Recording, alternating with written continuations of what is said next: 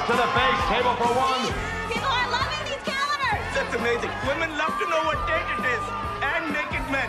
I have to tell you something. Come upstairs with me. Got it, Nails, and now you are the stories to share. Steve, Come, come. okay, Yes. where were you? Come sit here. Sit down. I have some very exciting news. Okay. You know that printing press that makes the calendars? Yes. I bought it. You bought it? they weren't making the calendars fast enough because they have other customers, and so I addressed the problem. Was it for sale, Steve? No. Then how did you buy it? You know that film, The Godfather? Mm-hmm. In it, there's a character, he's one of the gangsters. He says, I made him an offer he can't refuse. I did that. That's what I did.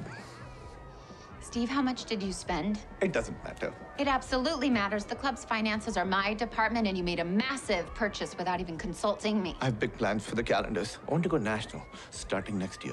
And with our own printing press, we'll be able to print as many calendars as we want in business that's known as controlling the means of production. Steve, I didn't run the numbers. I ran the numbers.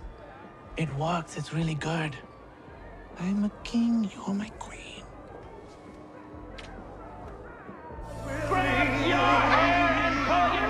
You can't